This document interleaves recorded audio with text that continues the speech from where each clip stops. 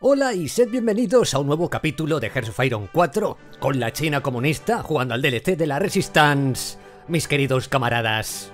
En el capítulo anterior lo que conseguimos fue que el imperio japonés se convirtiera en una nación proletaria. Sí, mis queridos camaradas, ahora Japón es una dictadura del proletariado y es una república socialista. Y por tanto una aliada de la República Popular de China. Pero ahora nos enfrentamos a un nuevo enemigo que sabemos que está ahí desde hace mucho tiempo. Sí, hablamos de los burgueses occidentales.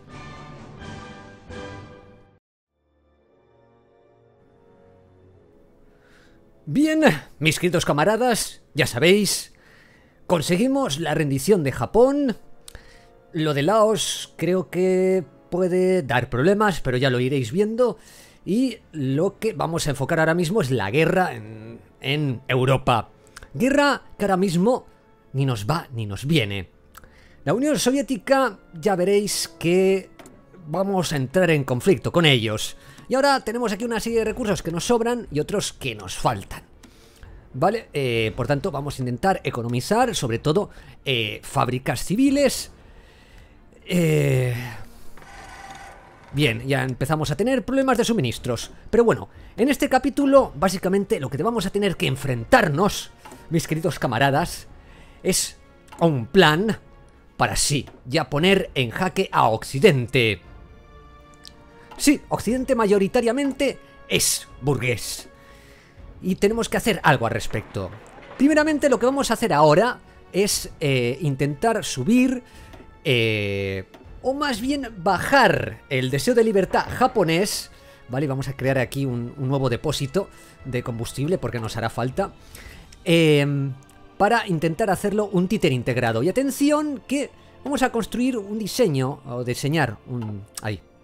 Vamos a hacer un diseño sencillo de submarino de nivel 1, pero bueno, ya que tenemos aquí torpedos de nivel 2, pues los vamos a colocar. Y eh, ya que tenemos esos 20 puntos de experiencia, eh, vamos a gastar 13 y vamos a poner en construcción submarinos. Ya por fin, ¿vale? Y esos submarinos se irán a entrenar y nos harán ganar más experiencia naval que necesitamos. ¿Por qué? Porque como ya sabéis, necesitamos una flota para enfrentarnos a los poderosos Estados Unidos. Y atención que nos han salido dos focos de forma gratuita eh, con la Unión Soviética, pues, pues bueno, pues fantástico. Eh, no sé por qué ha saltado exactamente ahora mismo, pero bueno, en fin. Porque nuestro foco sigue investigándose, que no es ese, sino es otro. Pero bueno, en fin. Vamos a intentar hacer Japón títer integrado. Vale, ya tenemos el código descifrado de em, la Malasia británica y ahora vamos a coger todos nuestros espías porque Japón al ser ahora títere nuestro ya no tiene mucho sentido que estén ahí de hecho no pueden estar y los vamos a enviar a los Estados Unidos de América Sí, van a tener que hacer ahí una eh, función importante y vamos a intentar descifrar el código americano. Y sí, eh, si declarásemos una guerra a Occidente, primero tendríamos que ir a uno de sus principales eh, graneros de mano de obra, que sería la India. Y, lógicamente, Malasia, Vietnam, etc. Porque hay muchos recursos muy valiosos que vamos a intentar retirarles, sobre todo a los de Singapur. Pero bueno, eso ya lo iremos viendo, mis queridos camaradas. Porque la lucha contra los burgueses occidentales, los imperialistas que durante muchísimos años nos han intentado eh, dominar, saldrá claramente al final triunfante. Y sí, voy a desviar unos cuantos aviones a Taiwán porque Taiwán va a ser una zona de operaciones muy importante de cara a lo que queremos hacer en un futuro. Eh, en este capítulo no vamos a cesar hasta intentar darle el primer golpe a los occidentales. Sí, quiero declarar la guerra cuanto antes, eh, aprovechando que están intentando tumbar a eh, la Alemania nazi y los, las potencias del eje. Por tanto, eso es una oportunidad de oro que vamos a tener que aprovechar y vamos a emitir bonos de guerra. para intentar aumentar la producción o la construcción, mejor dicho, de fábricas. Y vamos, vamos a ver qué es lo que podemos hacer. Y también astilleros. Vamos a tener que construir bastantes nuevos astilleros para empezar a sacar una flota que junto con la japonesa pueda hacer frente a la flota británica y la flota eh, americana. Es, decir, de los Estados Unidos de América. ¿Vale? Por tanto, eso pues veremos cómo se puede ir traduciendo. Así que vamos a ir abandonando ya el archipiélago japonés, sobre todo con nuestros eh, vehículos. Y comentaros también algo muy importante. Sé que estáis viendo que los capítulos de eh, Heroes of Iron 4 están siendo un poco erráticos últimamente. Yo os dije que por motivos de salud, pues iban a espaciarse un término de unos 4 días. Ahora será menos, lo que pasa es que no os puedo decir exactamente cada cuántos días lo vamos a hacer, cada dos, cada tres, pero bueno, ahí se hará, o incluso a veces cada uno, no lo sé. Va a ser un tanto errático, por eso os pido que estéis pendientes. Pero ya os digo que ha sido por motivos de salud. Ya sabéis que los que me conocéis y los que nos seguís, sabéis que yo, eh, Masarik, no me confundáis con Ocelot. Ocelot es el que tiene voz de profesor y es profesor, ¿vale? Eh yo soy el que tiene voz de payaso. en fin, y soy Masarik. Eh, yo tengo esclerosis múltiple. ¿Vale? Entonces tengo que ir con muchísimo cuidado de determinados síntomas. Y el médico, pues bueno, siempre está encima de mí. Y cualquier cosa, pues tengo que ir con mucho cuidado. Por tanto, comprenderéis que las cosas hayan que hacerlas con conciencia. Y además, la semana que viene ya empiezo a trabajar. Y me pusisteis hace un tiempo una canción que no ha caído en saco roto, por supuesto estaba en francés, es de eh, y es La Chinois, de la película La Chinois. Se mientras seguimos jugando. Le Vietnam brûlait, moi je hurle Mao Mao. Johnson moi je vole Mao. Le napalm coulait, moi je roule Mao Mao. Les villes crèvent et moi je rêve Mao Mao. Les putains crient et moi je ris Mao Mao. Le riz est fou et moi je joue Mao Mao. C'est le petit livre rouge qui fait que tout enfin bouge. L'impérialisme dicte partout sa loi. La révolution n'est pas un dîner. La bomba est un tigre en papier. Les masses sont les véritables héros. Les ricains tuent et moi je mets Mao Mao. Les fous sont rois et moi je bois Mao Mao. Les bombes tonnent et moi je sonne Mao Mao. Les bébés fuient et moi je fuis Mao Mao. Et moi je danse Mao Mao. Diable dénonce, je renonce Mao Mao. C'est le petit livre rouge qui fait que tout enfin bouge. La base de l'armée, c'est le soldat. Le vrai pouvoir est au bout du fusil. Les monstres seront. L'ennemi ne périt pas de lui-même. Mao Mao. Mao Mao. Mao Mao. Mao Mao. Eh, tiene gancho y hay que admitir que... eh, lo diré. La música... eh, la letra, mejor dicho. eh, está bastante interesante. Es decir... mm, la, la he querido colocar sobre todo por la letra. Eh, os he colocado ahí los subtítulos porque la canción, si no la entendéis, no tiene ninguna gracia. Como todas estas canciones que os he estado colocando. También hay otra canción eh, que la tengo guardada en la recámara que también la quiero colocar. No os preocupéis, que sé que lo habéis pedido y, ahí está. Ya buscaré algo. A ver, he puesto el los subtítulos, ¿vale? Iba a hacer alguna animación de Mao bailando por ahí, pero a ver, tampoco tengo tanto tiempo, sinceramente, ¿vale? Eh, pero bueno, en fin, lo importante es el mensaje, que os haya parecido interesante la canción en sí misma y recordaros que es de la película La Chinois de 1967, película francesa, que intenta a abordar el asunto del crecimiento del maoísmo en la Francia de aquella época, ¿vale? Y desde una perspectiva teóricamente eh, eh, reflexiva, reflexiva, analítica, ¿vale? Pero bueno, en fin, es de aquella época, no la he visto, por tanto no puedo opinar al respecto, simplemente he cogido la, la canción que, bueno, tiene, tiene su aquel. Vale, y ahora vamos a por el submarino de nivel 3, ¿de acuerdo? Y tenemos que ir preparándonos, mis queridos camaradas, para intentar plantar batalla a los malditos y crueles burgueses occidentales. Bien, ya se nos ha desbloqueado toda esa serie de focos. Y aquí en este caso vamos a seleccionar ya el de colaborar con los japoneses. O sí que esto nos lleva a construir destructores y submarinos. Planos de destructores y planos de submarinos. O el legado imperial. El legado imperial es muy interesante porque nos sube eh, la estabilidad base. La estabilidad base es importante, es muy, muy importante. Eh, y es más difícil de subir que por eh, el, apoyo bélico, por ejemplo. Pero bueno, mis queridos camaradas, vamos a... Mmm, bueno, los marines, aquí tenemos cinco... Eh, no, aquí no. Nuestros cinco primeros eh, blindados ligeros que vamos a utilizar en Asia nos van a ser muy útiles, ¿vale?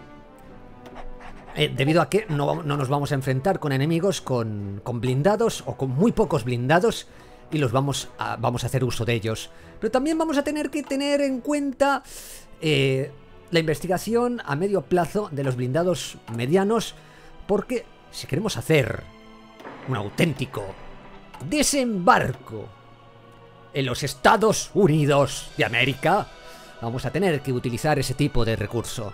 Blindados medios. Sí, evidentemente mis camaradas vamos a tener que hacer eso.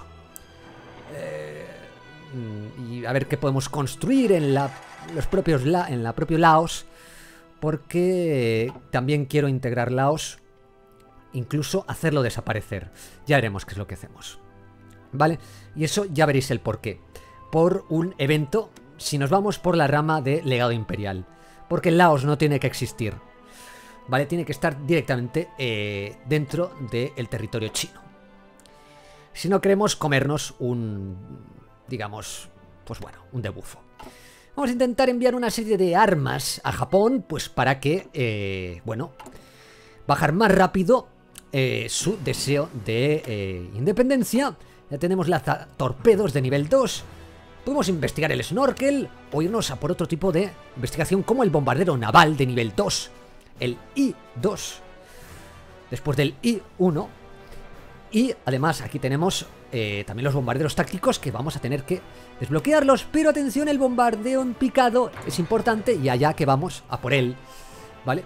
porque lo y atención la deliberación de París parece ser que los aliados están totalmente desatados ya y eh, los eh, soviéticos no están avanzando mucho, tampoco están retrocediendo mucho, están prácticamente estancados.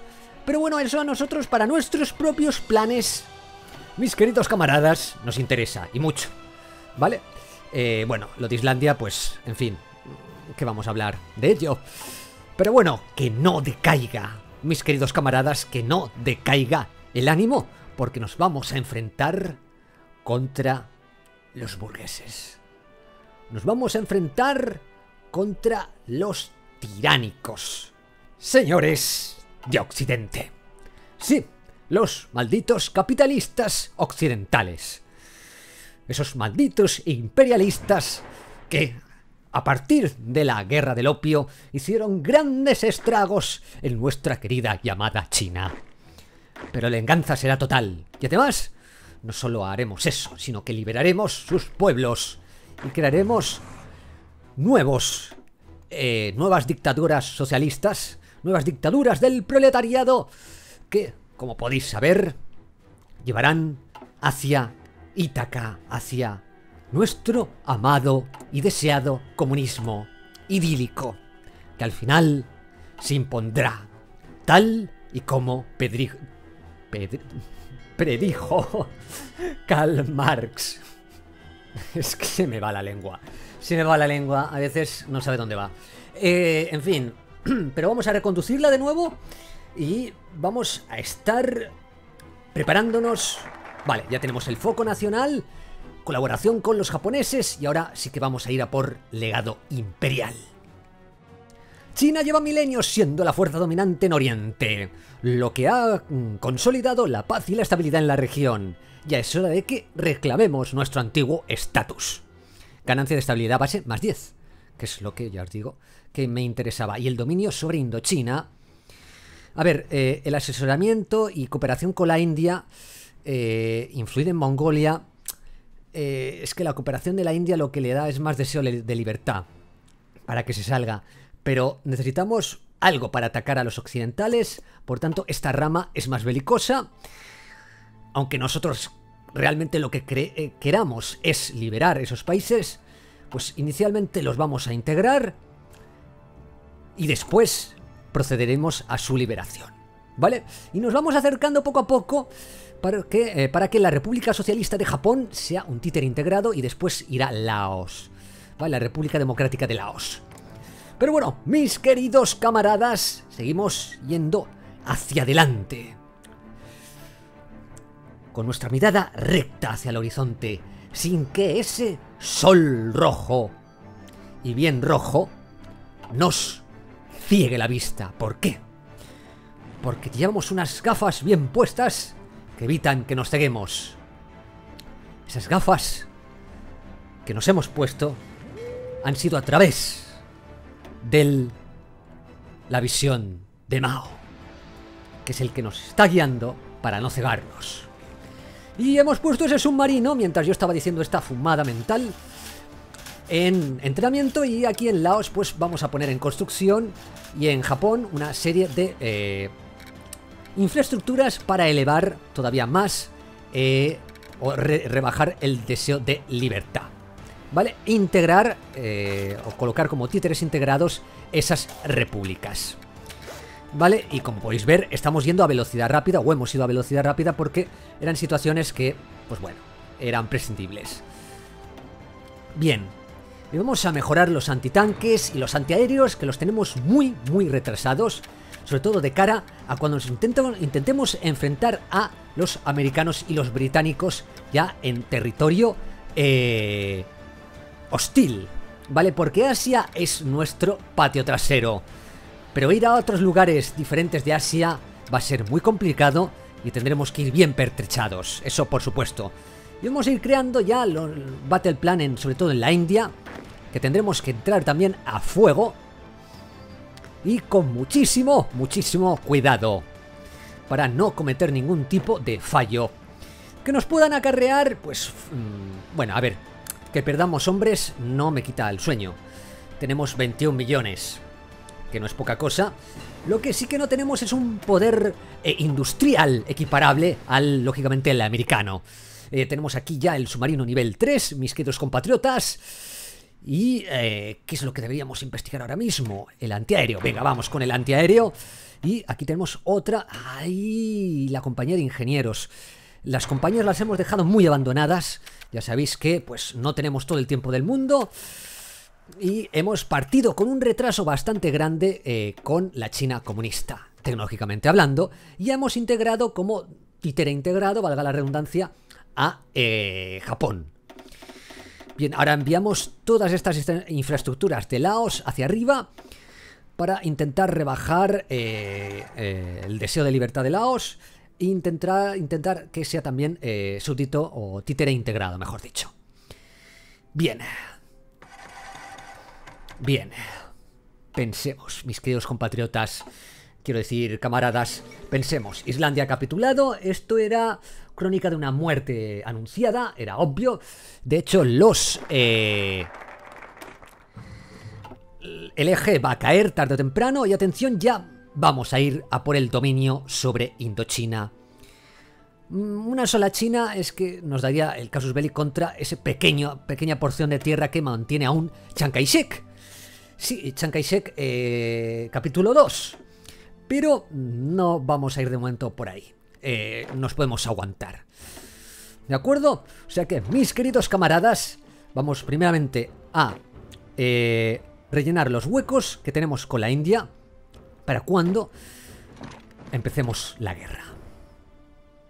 Sí, mis queridos camaradas, la guerra contra los occidentales está a punto de estallar. Y me da igual lo que piense Stalin.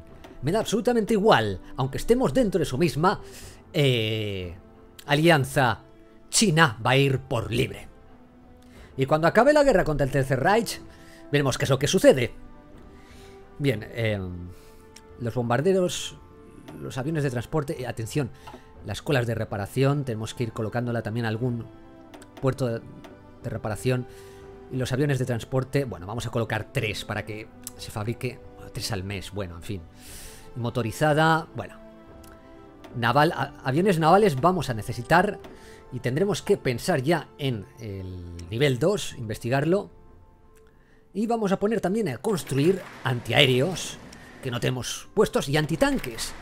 Que esto va a ser muy necesario de cara a un futuro para pertrechar bien a nuestras tropas de cara a eh, lo que queremos hacer, pues quizá en América.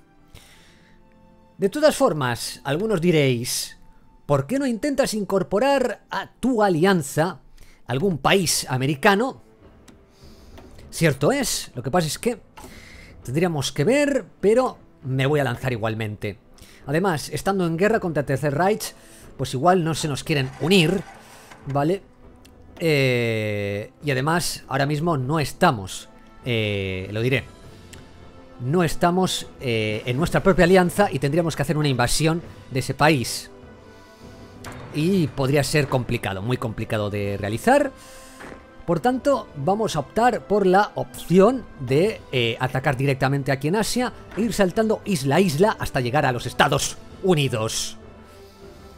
O incluso intentar hacer una ruta desde los. eh, desde la propia Asia, a través de Irán, Irak, y ya llegar al Mediterráneo. Esto sería bastante interesante. Y vamos a planear un. Un, ataque aéreo a las Filipinas. Sí, a las Filipinas que podemos utilizar como base para lanzar otros ataques aéreos sobre Birmania o incluso la misma Singapur sin tener que eh, tomar, por ejemplo, Tailandia o Siam, mejor dicho. ¿Vale? O sea que, mis queridos camaradas, poco a poco vamos intentando eh, crear... mm, bueno, en este, en este aspecto vamos a crear un, un escenario nuevo para que no se nos mezclen tantas tropas. Eh, la defensa de Japón, ¿vale? Y ahí vamos a ir metiendo las tropas que Japón nos vayan dando, eh, pues, mm, su control, ¿de acuerdo? Bien, eh, es interesante más o menos cómo se están desarrollando las cosas, veremos cómo va y vamos a enviar esas esas divisiones motorizadas y blindadas justamente a la zona de Birmania. ¿Por qué? Porque quiero utilizarlas para embolsar a las tropas del Raj británico. Esto va a ser importante, va a ser vital para tener una rápida victoria en esa zona. ¿Vale? No, el Raj británico no va a ser ninguna oposición para nosotros, para una potente China, una potente República Popular China, con una gran cantidad de tropas y además con un poder industrial en ascenso. Eso es innegable, mis queridos camaradas. Por tanto, nuestro poder a la hora de conquistarlo va a ser bastante... Va a ser imparable, qué narices, va a ser imparable. Problema, lo que va a ser evidentemente un reto va a ser llegar a las potencias occidentales, concretamente a la cuna del capitalismo moderno, agente capturado, maldita sea en Estados Unidos. Bueno, vale, ya tenemos el 100% en todo el área estadounidense, esto es bueno. Vamos a bloquear e intentaremos recuperar al espía que nos han capturado. Bien. Eh, de acuerdo. Ha sido un golpe, mis queridos camaradas, no vamos a disimular que esto ha sido un fracaso, evidentemente, pero vamos a rescatarlo y después volveremos a la carga con nuestros espías. Pero lo que se estaba diciendo es que, evidentemente, va a ser difícil ir contra la cuna del capitalismo, es decir, el imperio británico, por lo menos del capitalismo moderno, ¿vale? Y eh, los Estados Unidos, que ahora mismo es la primera potencia mundial, con un poder industrial inmenso, pero intentaremos llegar hasta ellos y derrotarlos e instaurar en su territorio una dictadura del proletariado, unos estados socialistas en dichos países. Porque queremos que la prosperidad llegue a todo el mundo. Sí, queremos que esa prosperidad llegue, evidentemente. Pero bueno, mis queridos camaradas, continuamos. De hecho, vamos a ir ampliando algunas plantillas. Debido a que ya estamos haciendo, eh, fabricando eh, antitanque. Que va a ser muy importante. Bueno, venga, va. Colocamos, no colocamos. En esta plantilla... Antiaéreo. De acuerdo. Antitanque, de momento no. Vale, porque justamente tenemos cero. Eh, hemos fabricado muy poco. Vale, de acuerdo. Aquí tenemos problemas de suministros en la zona de Birmania. Le damos otra vez al fast forward. Vale, porque en principio lo que estamos haciendo ahora mismo es prepararnos, preparándonos para el ataque. Pero, mis queridos camaradas, como ya os he dicho, quiero ya poner en marcha el conflicto contra los capitalistas. Y vamos a poner en producción ahora mismo 12 marines. Porque sí, porque ahora mismo vemos que tenemos poco en producción y quiero construir más unidades ahora mismo, sí. Eh, y marines en un futuro vamos a necesitarlos. Y vamos a eh, hacer toda una nueva línea de defensa de fuertes en eh, Laos para ver si podemos ir reduciendo todavía más eh, a través de la edificación del amo esa necesidad de eh, libertad que se vaya eh, rebajando. O más bien, el deseo de autonomía, que siempre lo confundo porque eh, son muy similares al del Europa Universalis 4 y el de Hearts of Iron 4, ¿vale? Uno es el deseo de libertad, el otro es la autonomía, pero bueno, en fin. Y ahora vamos a investigar más. Vamos a irnos a la última investigación de la artillería. ¿Por qué? Porque tenemos mucha artillería desplegada, muchísima, mucho más que antiaéreo. Antiaéreo apenas tenemos desplegado, ¿vale? Por tanto, en el RAG británico, la utilización de la artillería, ya que la tenemos bien equipada nuestras divisiones, allí va a ser más efectiva eh, que si hacemos esa investigación, porque es algo que ya tenemos desplegado. Y atención que el dominio sobre Indochina quedan 11 días para su cumplimiento, 10 días ahora, y cuando lo tengamos, entraremos en guerra contra las potencias occidentales. Sí, mis queridos camaradas, entraremos en guerra. Aprovecharemos que están luchando contra el Tercer Reich. Y aquí vamos ya a, colo- a colocar la investigación de los bombarderos navales de nivel 2. Vamos a aprovechar que están en guerra contra el Tercer Reich en Europa para atacarles. Sobre todo a Inglaterra, donde más duele, la joya de la corona. Sí, esto le va un. Esto va a ser un duro golpe contra el gobierno de Churchill. Veremos qué dice Bombaten. Va, en fin, Bombaten creo que aún no está en la India. De hecho, estará luchando contra el eje. No, Bombaten estaba en Singapur. Sí, cierto. Lord Bombaten, sí, nos enfrentaremos contra él. Y será un placer pasar por encima. Si se opone, por supuesto, no es algo que lo haga gratuitamente. Vale, dominio sobre Indochina, ya la tenemos. Bien, y ahora vamos a seguir la rama de Japón. La de investigación de cruceros. Bien, y tenemos más, atención, más tanques. Mis queridos camaradas, tanques ligeros que vamos a utilizar para entrar en la India y embolsar a todas las tropas del Raj británico que podamos. Y sí, vamos a tener problemas de suministros en la zona. Pero no os preocupéis, porque hay que tener valor en el arrojo de las tropas chinas. Porque a pesar de todo, lo conseguirán. Con o sin suministros, porque siguen de forma ciega a su gran líder, al gran timonel. Hablamos de ma mierda. No nos deja declarar la, la guerra porque nuestro líder de facción tiene una tiene no agresión contra ellos. Y no podemos dejar ahora mismo la facción porque estamos en guerra contra el eje. Va a haber que buscar algún tipo de argucia para poder conseguir esto. Bien. Bien. Vamos a justificar la guerra contra el Raj británico. 30 días tenemos que esperar. 30 días. Tendremos que hacer eso. ¿Funcionará? ¿No funcionará? Dios mío, ¿por qué me tiene que pasar esto a mí ahora? ¿Por qué ha tenido que firmar el maldito gallina de Stalin un acuerdo de no agresión contra Vietnam? Contra no, con los británicos. Y con Vietnam. Maldición. Maldición, esto nos hace cambiar mucho las cosas. Y renegar de la línea McMahon. Pues bueno, pues nos gastamos los puntos y creamos directamente aquí la justificación. No nos queda otra. Si es que podemos declarar la guerra.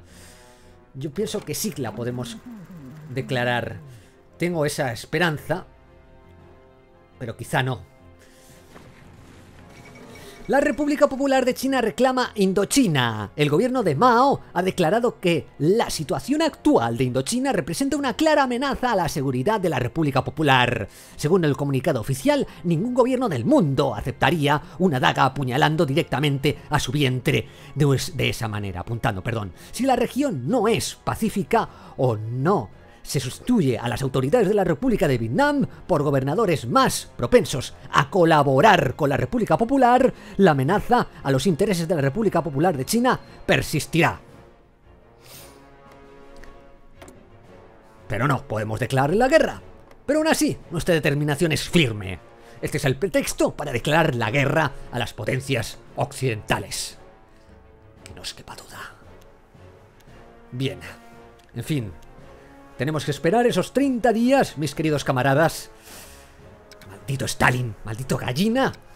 Vamos, aquí estamos dando el fast forward porque quiero que esto se acceda cuanto antes mejor. Y el dominio sobre Indochina, ese evento que te- es una cuenta atrás, pues sigue adelante. Eso no me gusta nada. Vamos con la unidad de reconocimiento. Ya sabéis que las eh, compañías, eh, perdona, las compañías las hemos tenido muy de lado eh, porque no tenemos los bloques suficientes de investigación para abarcar tanto. Y tenemos que eh, irnos por el lado de, evidentemente, la investigación naval y de otros aspectos que necesitamos con muchísima, muchísima necesidad. Y atención, que vamos a enviar dos espías que se van a infiltrar en la Armada de los Estados Unidos de América. Sí, queremos información al respecto. En fin, vamos a... Bueno, esperad, esperad. A ver cómo va. Ya casi tenemos a Laos como títer integrado. Pero si queremos que el evento... Mejorar el antitanque renovado 1, ¿vale? Vamos a seguir ahora con el antiaéreo. Bien, adelante. Y de recursos, cuando declaremos la guerra a los occidentales y a sus colonias, el caucho va a caer en picado. Sí, mis queridos camaradas, va a ser un golpe duro, pero invadiremos... Vale, ya tenemos... El caso es... Podemos declarar la guerra, perfecto. Atención que... Ahora... La India es una república democrática. Aún así, sigue siendo aliado de Gran Bretaña y sigue siendo dominio.